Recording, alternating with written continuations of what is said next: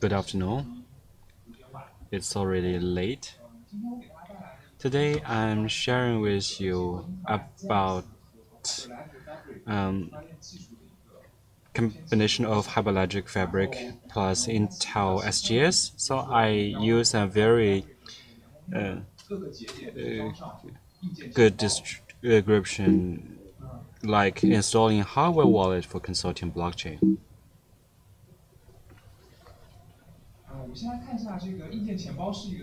So what is hardware wallet? So let's use blockchain hardware wallet as an example. We know that the most important thing from blockchain wallet is private key, and we need to have a hardware to protect the private key. So maybe when people have wallets, they have a lot of coins or they pays a lot of attention to security. So there are several steps. The first step is that you need to put the private key into the wallet. More accurate description is that the private key will never go out of the wallet. The private key will be generated by the wallet, and when you are doing a transaction with blockchain, you need to have a signature and the whole transaction process. After you do the transaction, you need to send a request for signature, and internally, the wallet needs to calculate about the signature script, and throughout the process, the Bitcoin will be in a very secure state. You don't need to worry about any theft or any virus that will attack your wallet. In the consortium blockchain, if we're using Hyperledger Fabric as an example, so every consortium nodes will have a private key. For example, for peer, it needs to do the endorsement after every transaction. For order, it needs to have a signature of the transaction no matter for peer or other private key, it reflects the authority or identity which are essential for the consortium. This is also something we want to protect the private key of the users for that reason. And we decided to choose SGX technology from Intel. Actually, this is the programmable internal environment, it has the concept of enclave. So you can put some codes into the CPU for operation, and the operations will be encrypted before putting on the CPU. If you trust the Intel CPU, all of those codes will be encrypted. So it can play the role of hardware wallet for us. So our goal is that we want to use SGX technology to protect Fabric node private key. So we've gone through two solutions and three steps to achieve that.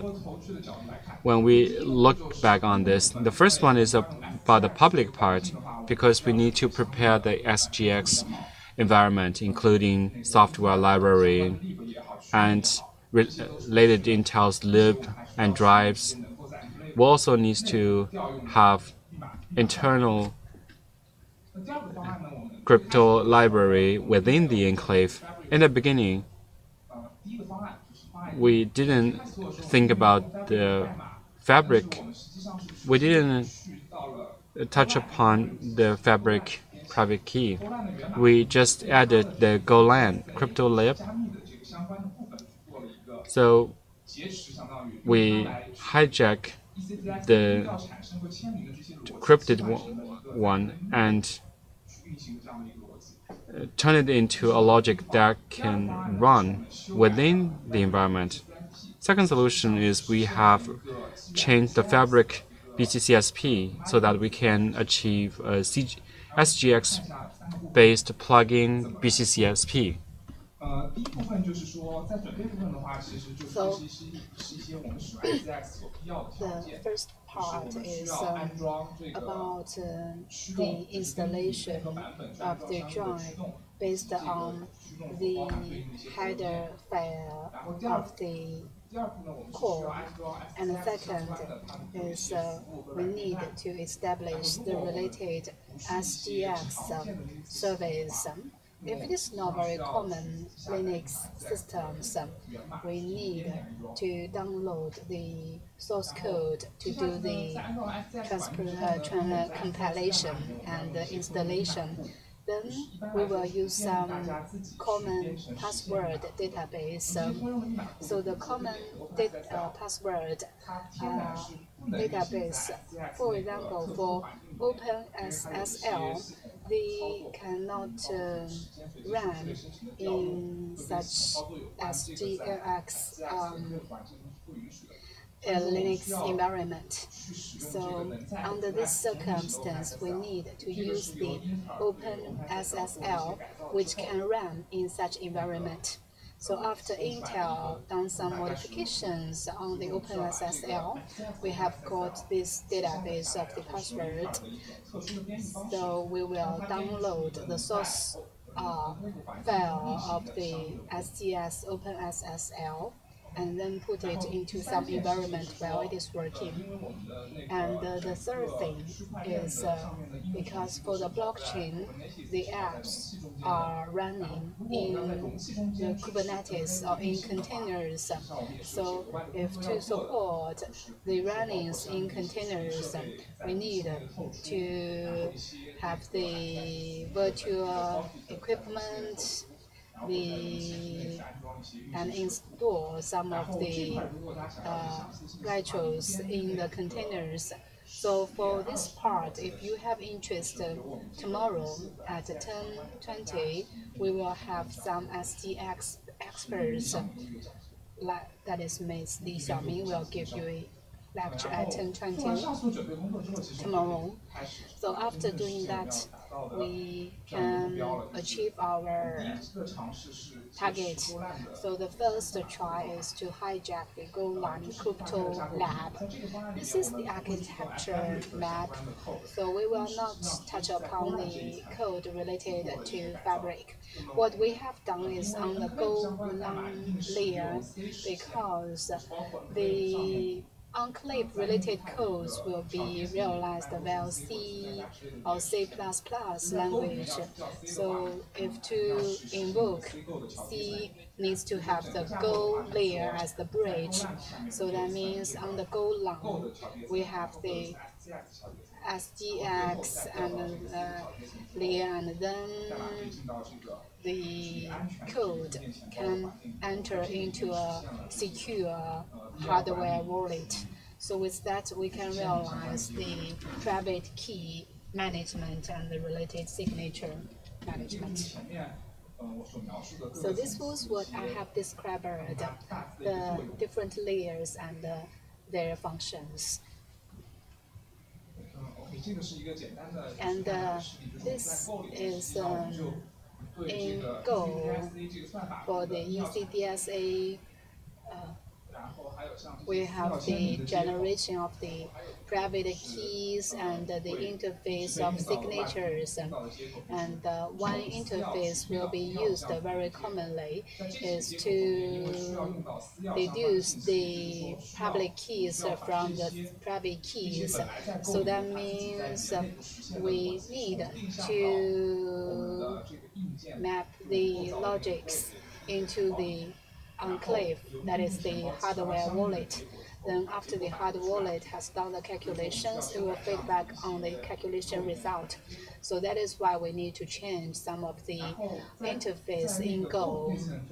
And after changing on the Go layer, next we are going to realize the SGX interfaces.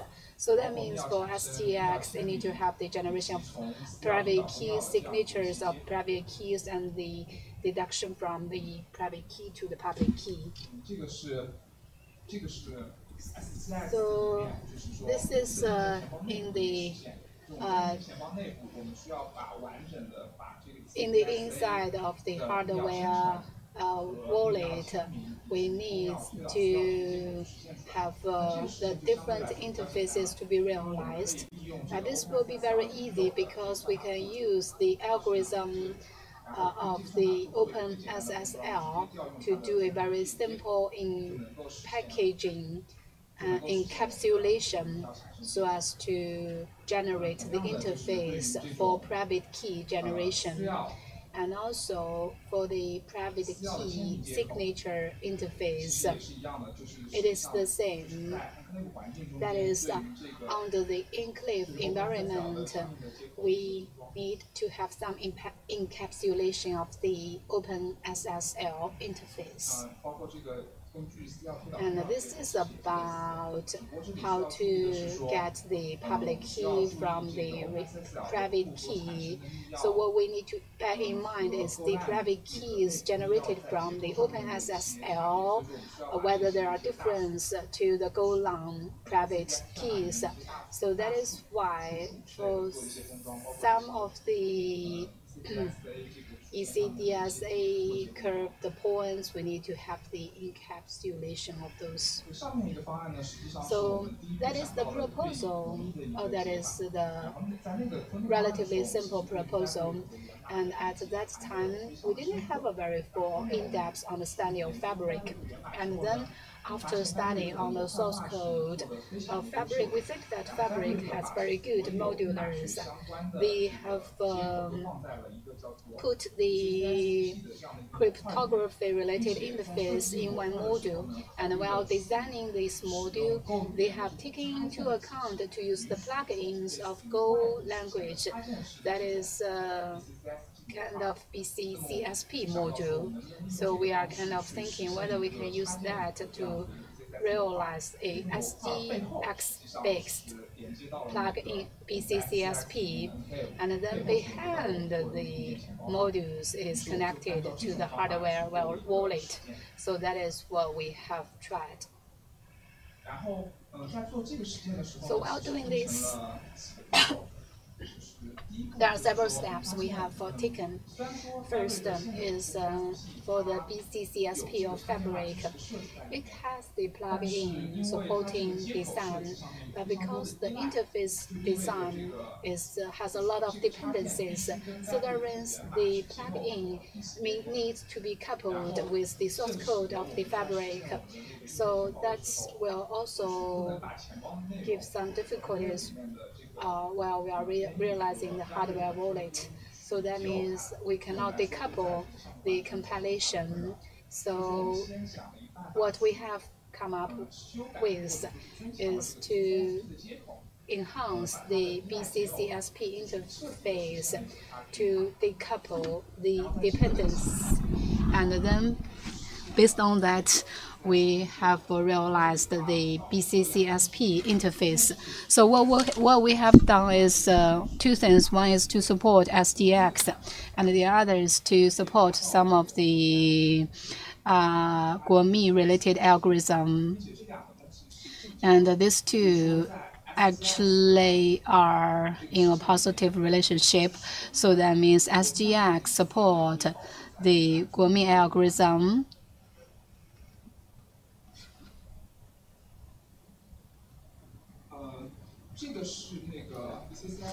So this is the original interface of the BCCSP. We can see that it is clearly defined, including the private keys, the parameters of the private keys, and some of the core interface, uh, interface and the generations of public keys and signature. And this is the modified plug-in BCCSP interface. So from this we can make a comparison with the previous one. The obvious difference, for example, is uh, if you have a look at this interface, if to get a public key from the private key for the original interface, what they are sending is a key which is um, And for example, for the signature interface, it is inputting some like uh, private keys or parameters. So that means interface, this interface are relying on if you want to use this interface um, definition, you must have the Go language to know that what is the private key and which package it is in. So that actually will lead to the the decoupling or that will not help on the decoupling. So that is why we have done some modifications. If there is any interface which is relying or have some dependence, we will just uh, modify it into the plugin BCCP, BCCSP interface. So with this, we can see that uh, the data structure of the BCCSP uh, is uh, consistent of the key data structure, and that will help us to realize a total plugin BSSCP interface.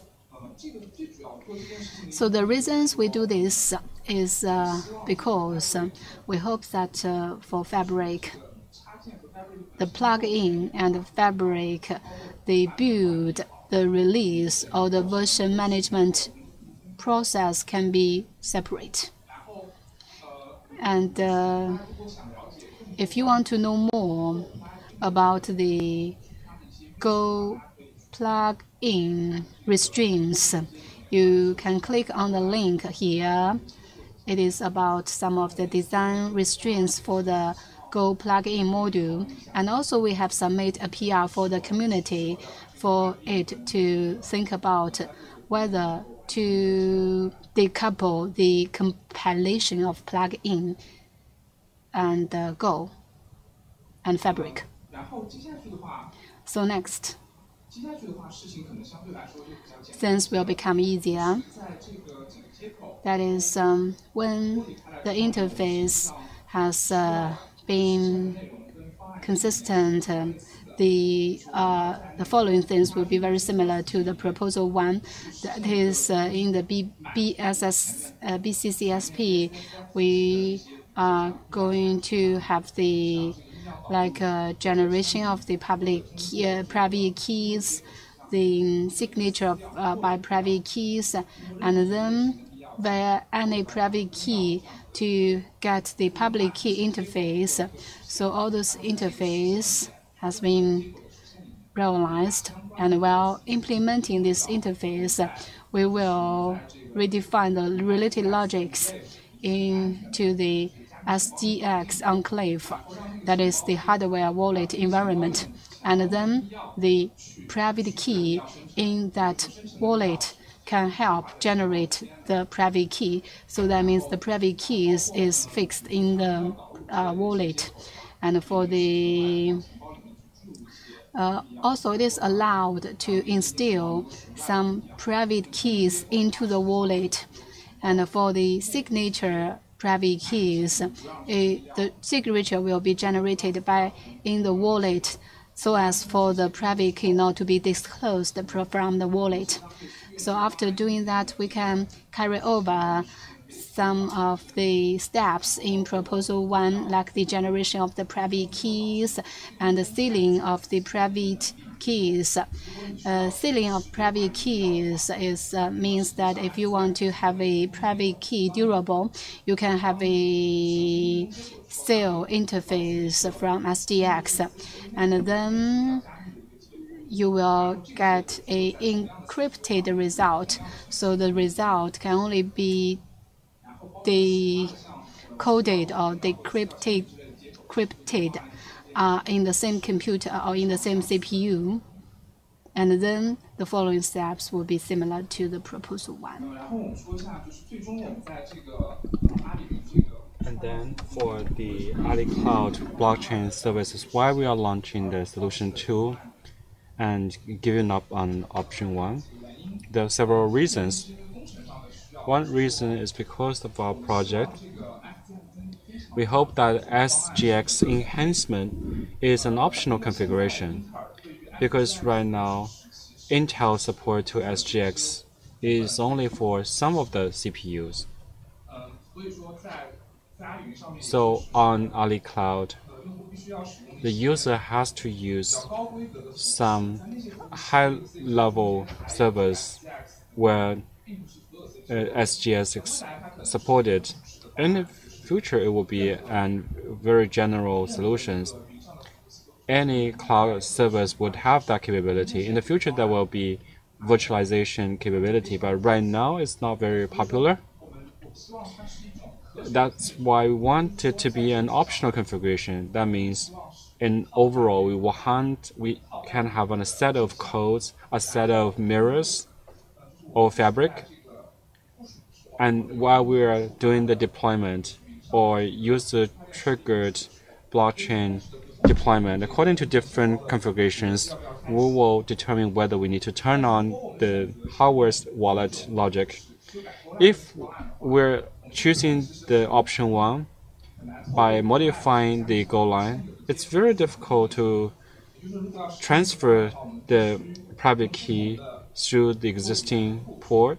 We need to use different Go language to write two different sets of codes and then we can choose different fabric mirrors. We find it to be a very imperfect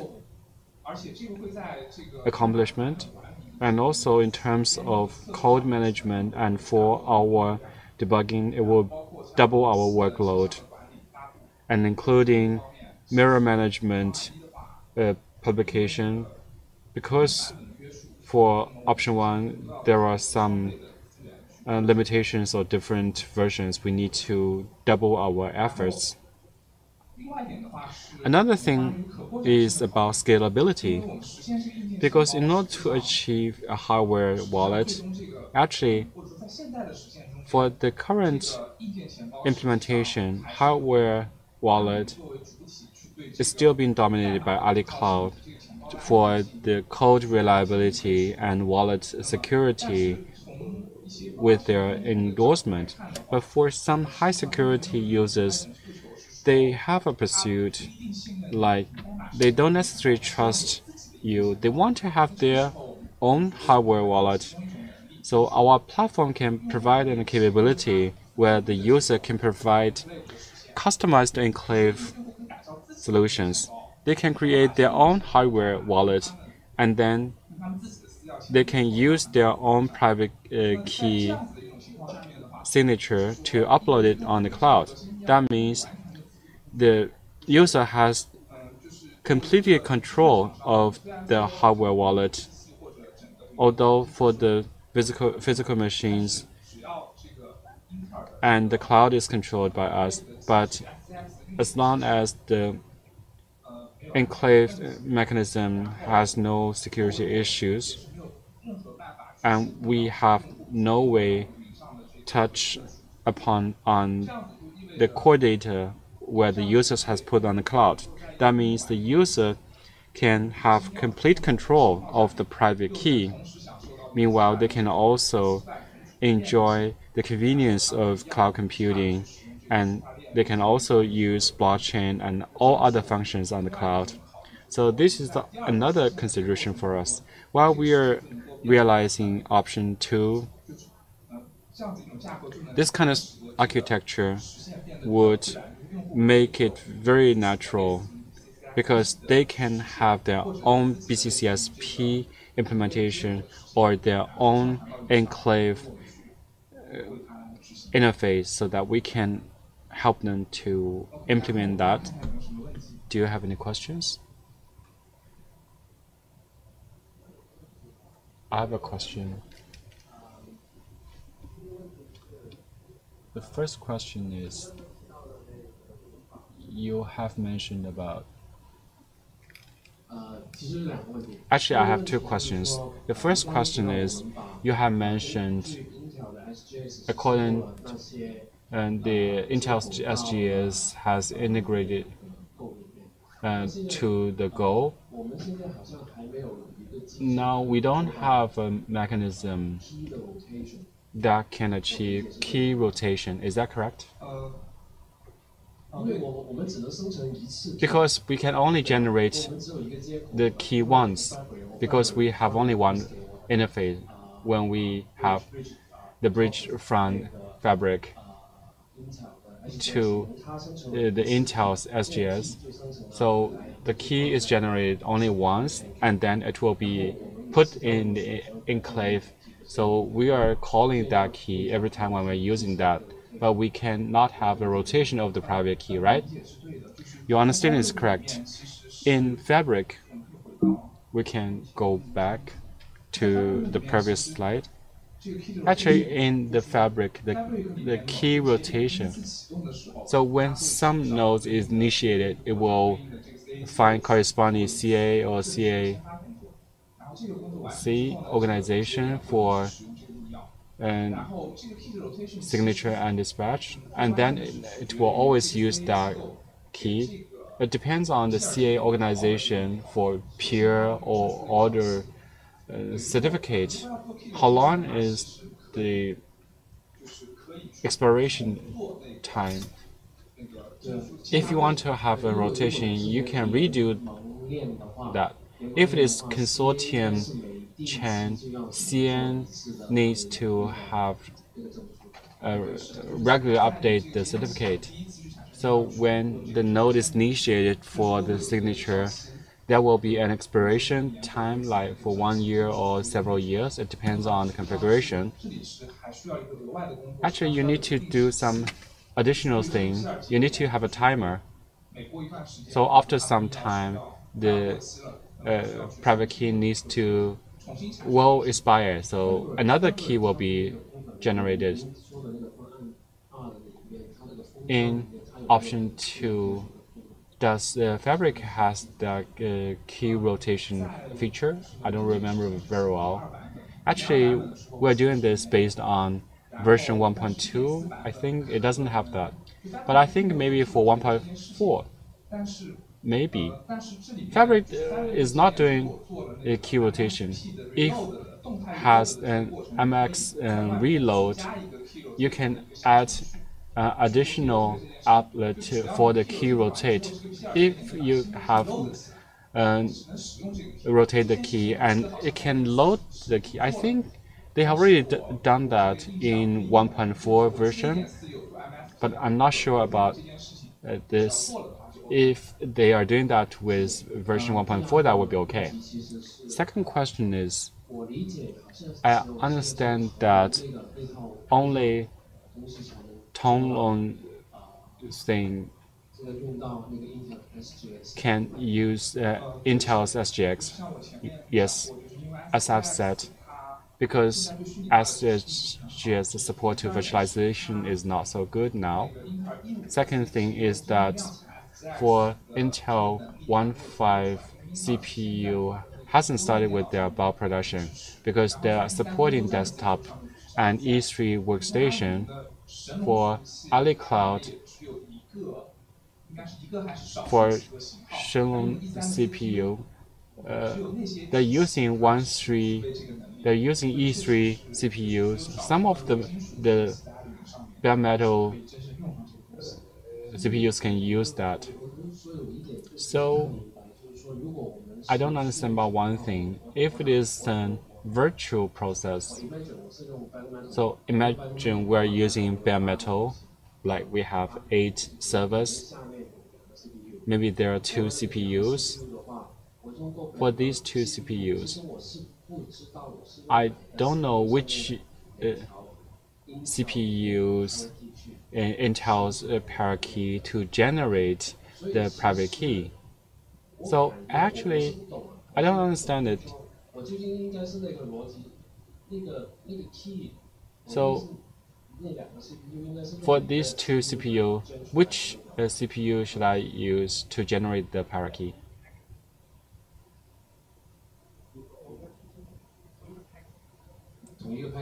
It's in the same package?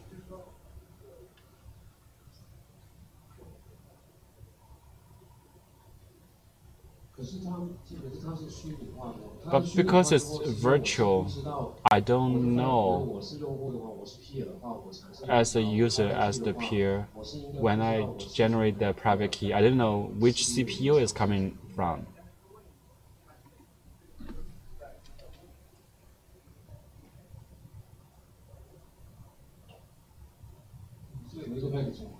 It's in the same package?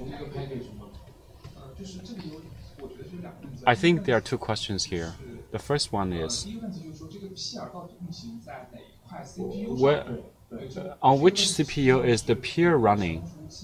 Actually, for uh, Shenlong service for bare metal, they wouldn't have the migration of the service. You will always be running on the same CPU. When you have multiple core on, on the same CPU, my this is my personal understanding. When they are sharing one SGX environment, they can all uh, decrypt the seal thing. So if it does not migrate, I can understand it. I think if that migrates, it will be chaotic. It has threads, calls, package. So when it's on the same package, it's okay because they're going to fuse that. Okay, thank you. I happen to have a question here. 那个，呃，我我理解是。 My understanding is 我刚才看了几个 API 接口。 I have uh, checked some API interfaces. I don't know my understanding is 虽然 correct. 那个 private key 生成是在 Although uh, the private keys are generated in the enclave, but the interface is line 有没有 for the sign. Do we have an authorization mechanism? Otherwise, uh, anyone can go to the enclave on the processing platforms when you have multiple leases and, and you can load the enclave and start up and then you can send your message and call the sign API. You can also sign. So do you have an authorization mechanism so that sometimes it will not sign? Actually, for the sign interface, you need to send the seal key and the content you are signing. So for the sealed key, sorry for interruption. For the sealed key, it's uh, saved on some location. And SG can also be run on other machines, although they don't know what is saved there. SGX is a binary. They know how the interface is calling that. So coming back to my question, right now we don't have authentication mechanism. The main reason for that is that for the upper layer deployment, the Fabric software can uh, call sign anytime. It's not easy to do some good authentication about the environment. If it's really a hardware wallet, normally it will have a fingerprint or PIN code to access that. It's because for every transaction of Bitcoin is initiated by the user, but for the fabric, because their nodes are passive, so you need to use the private key to do the signature. In order to do that, we need to do something about the peer process or the environment. Well, according to our evaluation, it will be difficult, and we cannot trust the environment will not be attacked. That's why we haven't done anything for that part yet. Thank you.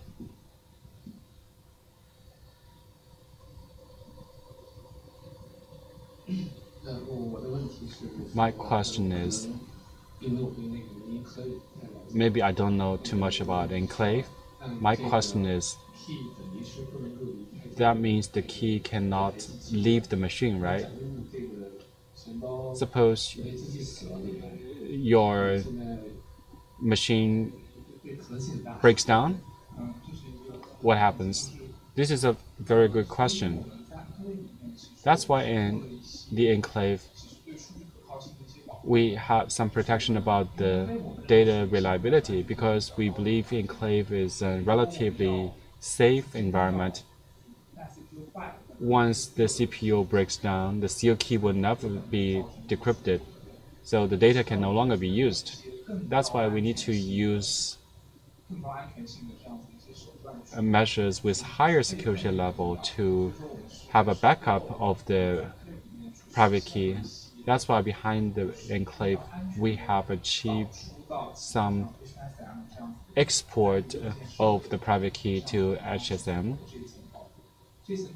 So this additional protection is to ensure that we can recover the data. So the private key can still be exported.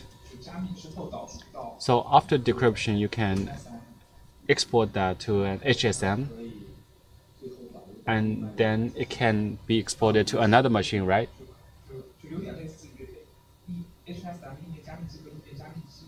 So it's like an, a private key uh, import and export between two decrypted machines you can send the result there. So during the transport, there's no open message, and the process of recovering that is the same. So we're going to generate a public key so HSM can um, decrypt that, that.